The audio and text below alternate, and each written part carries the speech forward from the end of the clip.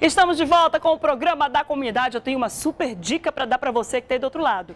Hoje em dia, todo mundo faz tudo pelo celular. Ouve música, vê vídeos, joga online, acessa o e-mail, redes sociais. Mas para isso, tem que ter muita internet, né? Por isso, o Vivo Turbo tem uma novidade. Agora, além do 4G mais rápido do Brasil e da cobertura que só a Vivo tem, seu pré-pago tem opções de até 1 GB de internet por semana. É isso mesmo mesmo que você ouviu.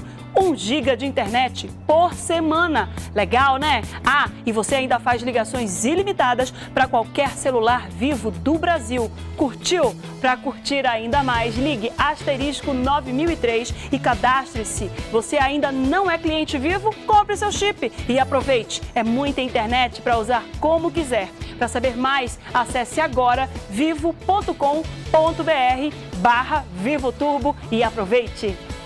12 horas e 24 minutos. Eu ainda espero o pessoal do Facebook para participar do nosso Segredo do Cofre, hein, minha gente? Fica ligado você que está acompanhando o programa da comunidade ao vivo pela internet. Nós temos os nossos telefones para contato também. 3307-3951, 3307-3952, o nosso WhatsApp, 99153-7959. Mas você pode participar do programa da comunidade pelo Facebook também. Mais de 4 mil brinquedos serão doados para crianças das áreas ribeirinhas aqui da capital. E hoje foi dia de embrulhar e levar os presentes para os barcos. Vamos acompanhar como é que foi todo esse trabalho aqui na tela. São 4.250 brinquedos que vão fazer a alegria de crianças de comunidades ribeirinhas aqui da capital. A entrega começa a partir do dia 17 deste mês. Não é só a entrega do brinquedo, é entrega de carinho, é brincar com as crianças. Então a gente faz alguma coisa diferenciada. Entregar brinquedo é fácil, mandar brinquedo é fácil, mas não, a gente faz questão de ir aos locais, abraçar a criança, brincar, é, conversar, isso é que é importante. São bonecas, carrinhos, bolas, arrecadados pelo grupo que há 18 anos representa o Bom Velhinho em comunidades carentes de Manaus. As entregas serão nos dias 17, 18 e 24, na véspera de Natal. Que show! Ela disse uma coisa muito importante aqui, que é participar, brincar com a criança. Normalmente essas crianças ribeirinhas aí não têm esse contato com o pai, às vezes o pai tem que trabalhar muito, acordar muito cedo, chega muito tarde para poder fazer com que sejam produzidas aí, para poder pescar, para poder fazer a, o, a agricultura e não consegue ter esse contato. Então é importante esse trabalho todo dessas pessoas, nesse momento tão importante que é o momento do Natal, momento em que todo mundo é tocado pelo espírito natalino, todo mundo se comove move com a dificuldade e acaba trabalhando um pouco, um pouco mais de fervor e um pouco mais de dedicação pela melhoria das vidas das outras pessoas. E isso é mais um exemplo desse trabalho imprescindível e tão legal para essas pessoas que moram nas regiões ribeirinhas. Mas tem gente que quer colaborar com comida. Brinquedo é muito importante para a criançada. Tem gente que quer doar é, cestas básicas para famílias. São pelo menos 600 famílias que serão beneficiadas com cestas de alimentos. A ação é realizada pela Legião da Boa Vontade e a gente vai trazer informações agora sobre como é que está sendo esse trabalho com o Fred Rocha aqui na tela. Fred. Pois é, a campanha já passou por Boa Vista agora chegou aqui em Manaus. O objetivo é entregar cerca de 600 cestas de alimentos para famílias em vulnerabilidade social. Vou conversar com a Elisane Santos, que é representante da LBV aqui no Amazonas. Essas famílias foram identificadas de que forma? Bem, é, a Legião da Boa Vontade, no decorrer do ano, ela trabalha em rede. Ela tem a unidade aqui, que é o Centro Comunitário de Assistência Social, mas ela faz parte de uma rede de assistência. Então, ela está em contato com instituições, com os centros de referência de assistência social. Então, nós temos as famílias que são atendidas nos nossos programas aqui na Legião da Boa Vontade e famílias de instituições parceiras que foram identificadas com maior necessidade. Essas famílias passaram por, passam durante o ano pelo trabalho com o serviço social. Elas não foram assim, o atendimento é só a cesta de alimento, não. É um presente que a LBV está dando para essas famílias, através dos doadores e dos voluntários que colaboraram para a coleta desses alimentos.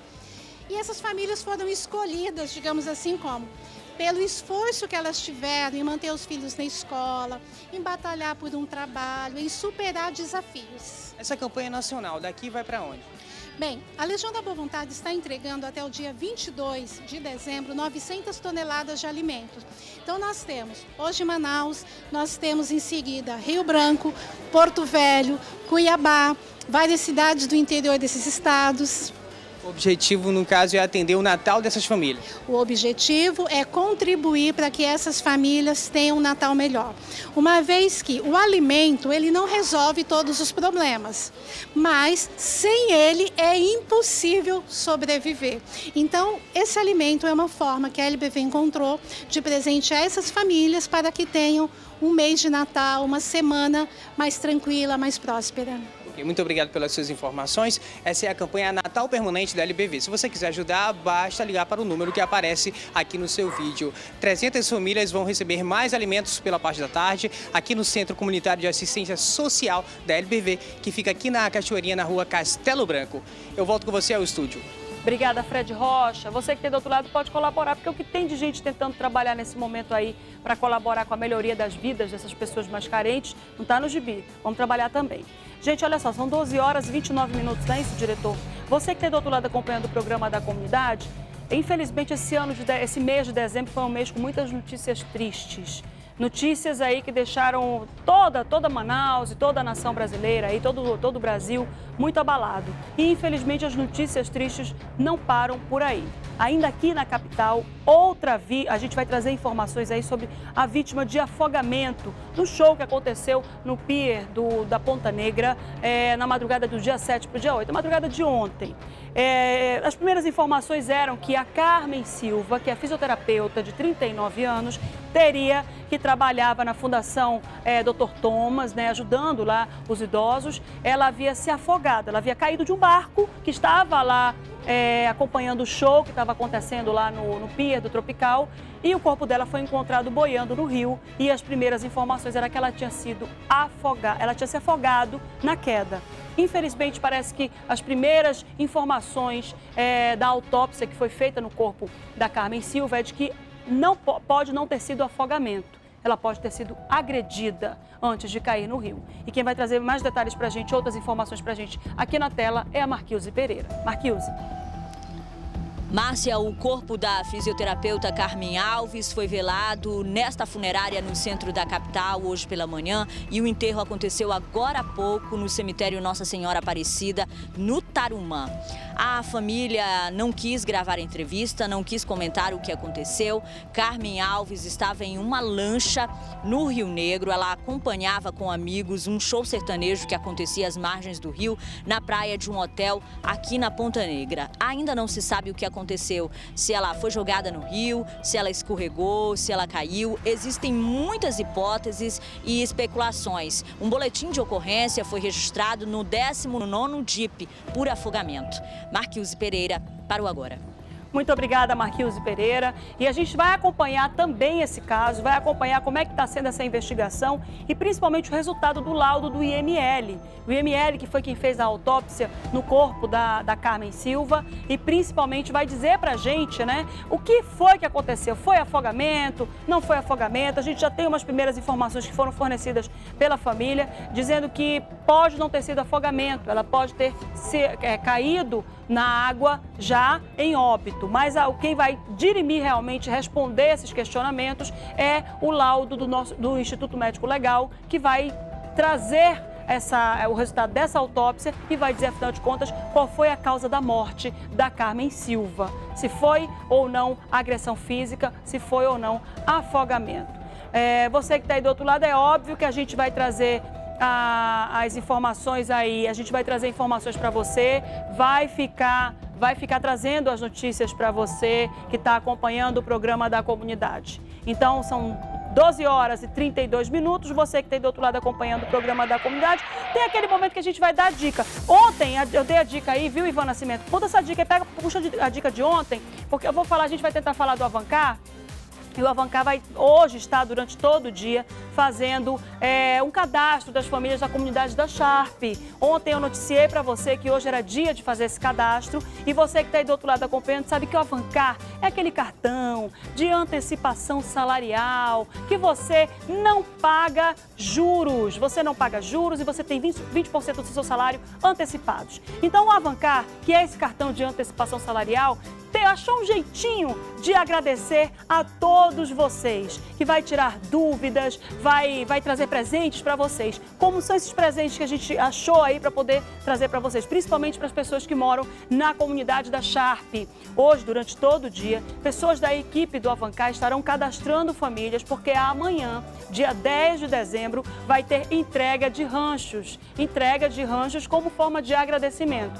E é nesse momento que você que está aí na comunidade da Sharp vai poder tirar dúvidas. Se você é funcionário público ainda não tem o seu cartão, vai poder pegar o seu cartão, vai poder tirar o seu cartão lá na hora, vai poder conversar com as consultoras. Então, não dorme no ponto não, vai todo mundo lá para a comunidade da Sharp para pegar informações. E se você que é servidor público ainda não conseguiu pegar o seu cartão Avancar, já sabe que pode fazê-lo amanhã. Então fica ligado aí, porque a Avancar, você tem uma, uma rede enorme de, de estabelecimentos comerciais, vários segmentos, supermercado, drogaria, sapato, roupa, para poder dar presente nesse Natal. Usa o seu Avancar, viu? Desbloqueia logo o seu Avancar, porque com ele você só tem a ganhar.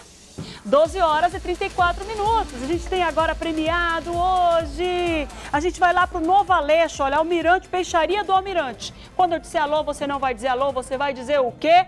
Peixaria do Almirante. A gente vai lá para o Novo Aleixo, que tem ligação aqui no nosso canal de contato com o programa da comunidade. Atenção! Alô? Peixaria do Almirante. Uhul! Show! Com quem é que eu tô falando? Com a Geisiane. Geisiane mora no Novo Aleixo, né, Geisiane? Moro. Quem tá em casa contigo agora?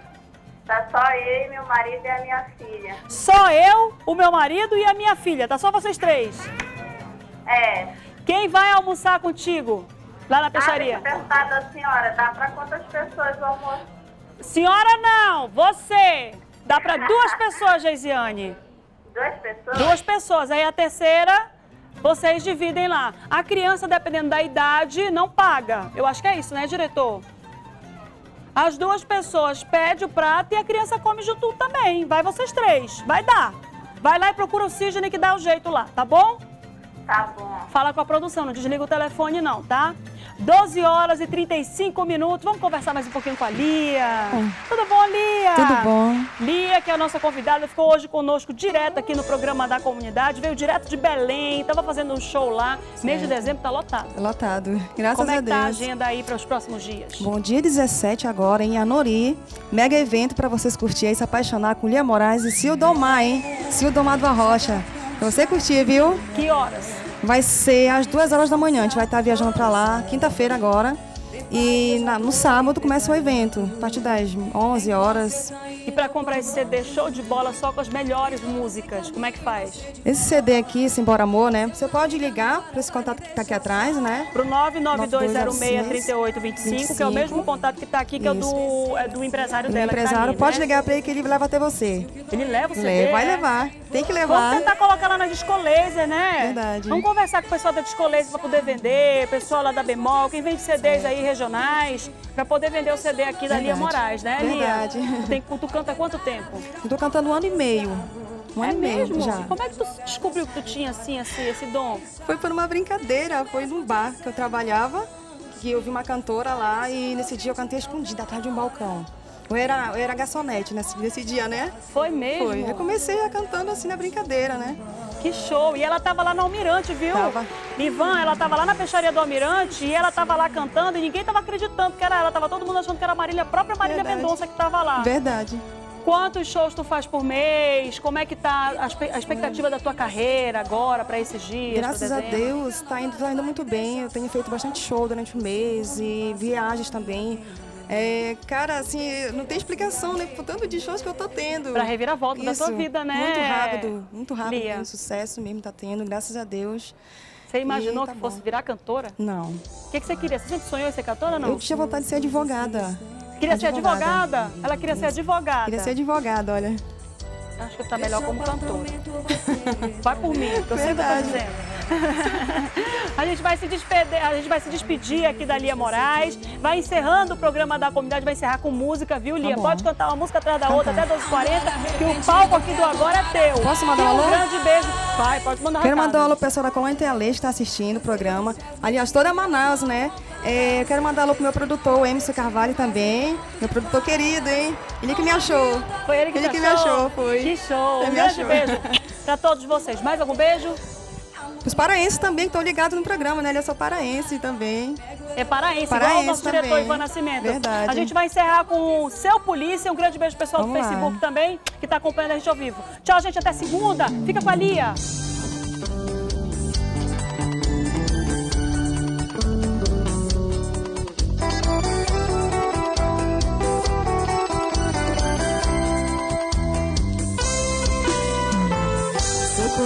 Polícia que eu separei recentemente. De paixão eu tô doente.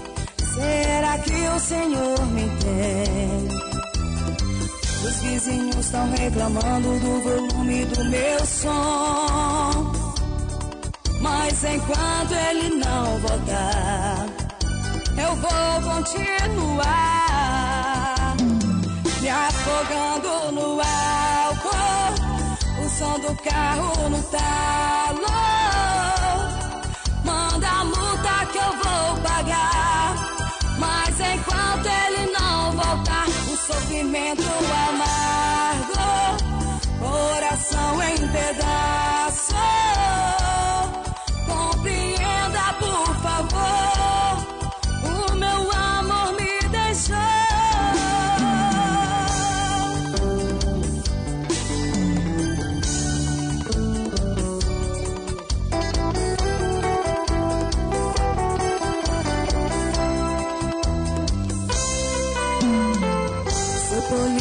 que eu separei recentemente. De paixão eu tô doente. Será que o Senhor me entende? Os vizinhos estão reclamando do volume do meu som. Mas enquanto ele não voltar, eu vou continuar me afogando no álcool, o carro no talo.